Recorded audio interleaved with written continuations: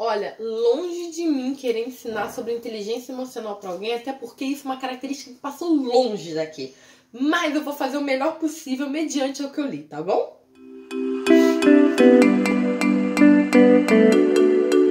Olá, perdidinhos da Titia Malévola, tudo bom com vocês? Como é que tá do outro lado do oceano? Aqui desse lado, nós continuamos naquela nossa busca de tentar melhorar o ser humanozinho que existe aqui dentro da gente, né?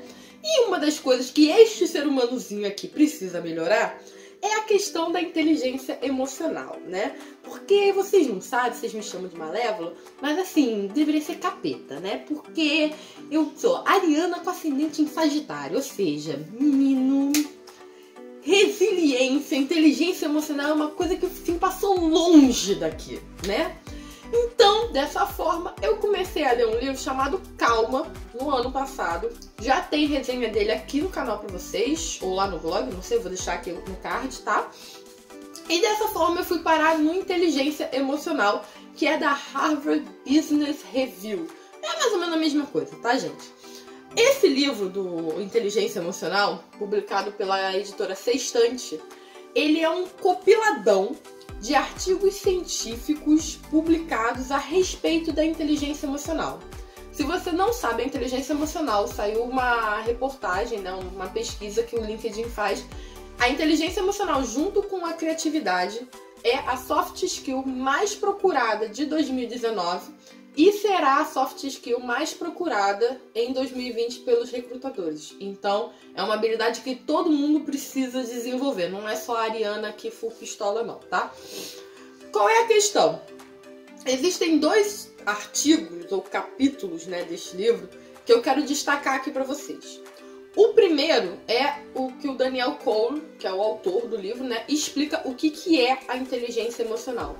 Segundo ele, a inteligência emocional tem cinco pilares, que é o autoconhecimento, autocontrole, a motivação, empatia e destreza social. O que, que são cada um desses pilares? O primeiro é o autoconhecimento, né? Que é aquela coisa lá que o oráculo de Delfos falava, tipo, conhece a ti mesmo. Nada mais é do que um coach, né? Ou então um bom psicólogo. Vai fazer você refletir sobre você mesmo e ver o que, que você precisa melhorar. Ou seja, é você se autoavaliar. Não é todo mundo que tem essa capacidade de se autoavaliar. Por isso existe o coach, por isso existe o psicólogo que vai fazer as perguntas certas para que você comece a olhar para si. Mas a primeira característica da inteligência emocional é você ter autoconhecimento elevado, tá? A segunda característica é o autocontrole. E essa a Dariana aqui precisa muito, né? Tipo, Ariano nasceu sem autocontrole, né, gente? É, é, é, passou longe isso daqui. Esqueceram de colocar no potinho quando fizeram a gente, sabe? Que é, justamente, né, você ter calma, paciência, resiliência, não deixar se tomar pelas emoções, tudo que a gente não é, né? Da mesma forma que o autoconhecimento, o autocontrole pode ser desenvolvido. É claro que com muita dor e sofrimento para algumas pessoas, né? Mas teoricamente pode ser desenvolvido. A terceira característica é a motivação. E todo mundo sabe que, por exemplo, um funcionário motivado é muito mais feliz, é muito mais tranquilo, tem uma inteligência emocional muito maior do que um funcionário desmotivado, né? A, os RHs hoje em dia das empresas têm justamente essa dificuldade de manter os funcionários constantemente motivados. E a motivação está ligada ao propósito, ou seja, você tem um funcionário, ele compactua com aquela sopa de letrinha, aquela missão, valores, é, visão da empresa, então ele vai ter muito mais facilidade de se, se manter motivado do que outra pessoa que está lá só por causa do salário. Então a motivação tem muito a ver com propósito. Se você não encontra o seu propósito no lugar onde você está ou no que você está fazendo, não precisa ser só com a empresa, né? Só com o que você trabalha. Pode ser isso daqui também, por exemplo. Se eu não souber qual é o meu propósito de estar aqui fazendo esse vídeo, eu não vou estar motivada, né? O quarto pilar é a empatia. Porque, segundo Daniel Cole, pessoas que têm alta empatia conseguem ter uma inteligência emocional maior justamente por conseguir é, vislumbrar os problemas né, das pessoas e lidar com eles é, de forma mais sensata, mais racional, justamente porque você não é pego de surpresa, porque você já meio que esperava aquilo que você já viu. Não sei se eu tô conseguindo explicar isso direito, gente. É tipo assim, você tá doente, aí você se pergunta, mas por que que isso está acontecendo comigo? Tipo, a pessoa que tem empatia vai falar, ué, por que que não estaria acontecendo comigo? Eu não sou diferente de ninguém. E o quinto pilar é a destreza social, que é essa coisa de você conseguir fazer amiguinhos aonde quer que você vá, sabe? Às vezes tem alguns patrões que acham que você tá só jogando conversa fora né, na, no, no, seu expediente, batendo papo naquele horário do cafezinho, na verdade você está desenvolvendo a sua destreza social. E a destreza social é a sua famosa rede de network, né? Então, quanto maior a sua rede de network, maior a sua habilidade, a sua inteligência emocional também. Inclusive, ele fala que alguns recrutadores, né, quando vão recrutar CEOs, gerentes, diretores, eles são escolhidos pela capacidade técnica deles ao invés de serem escolhidos pela inteligência emocional, que é o que eles mais vão precisar para poder lidar com as equipes. Então, é fundamental se você tem um cargo de chefia, por exemplo, ou se você almeja um.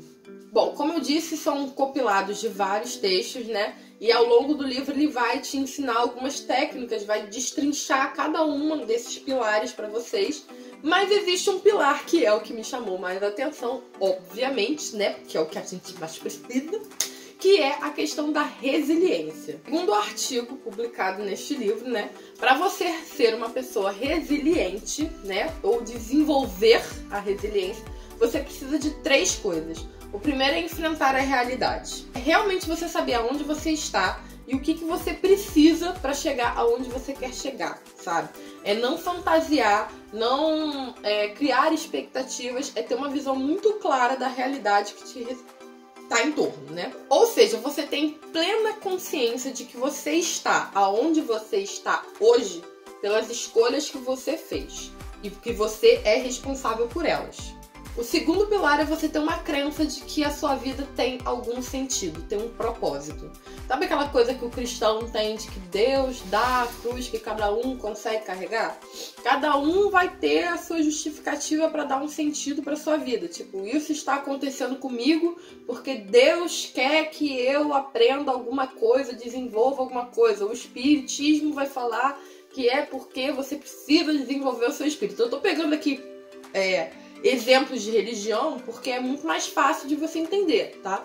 Mas é isso, é você ter um sentido na sua vida e bem claro de por que, que certas situações estão acontecendo com você. Então, se você fica doente, por exemplo, se você tem câncer, você pode ressignificar isso. Então, ao invés de você ficar, ai meu Deus, eu tenho câncer, eu vou morrer, não sei o quê uma pessoa, mais uma vez, né, religiosa vai falar que ah, não, estou tendo isso, essa doença, estou passando por essa provação para aprender algo. Entendeu? Então, criou um novo sentido para a vida dela aquilo. E a terceira capacidade das pessoas altamente resilientes é o famoso se vira nos 30, entendeu? É a capacidade de improvisar, ou seja, de você ter um problema e encontrar uma solução criativa para isso. Ele informa que pessoas conseguem sim sair de momentos de desespero, de momentos é, de conflito, né? Com duas dessas capacidades, mas que só pode ser considerada uma pessoa realmente resiliente quem tem as três. Eu não preciso nem falar que eu não tenho nenhuma, né? Mas a gente tá trabalhando nisso, tá? Então, esses foram os dois capítulos que eu achei mais importantes, pelo menos para mim, e que eu queria compartilhar aqui com vocês.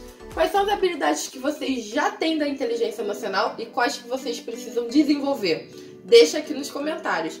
E lá na newsletter desse canal, eu fiz um workbookzinho que vai ter tudo isso explicadinho e também tem alguns exercícios para você poder raciocinar de como que você pode desenvolver isso, tá? São coisas que eu aprendi quando eu fiz o coaching, sim, eu fiz coaching, então o autoconhecimento já tá lá riscadinho com match, tá?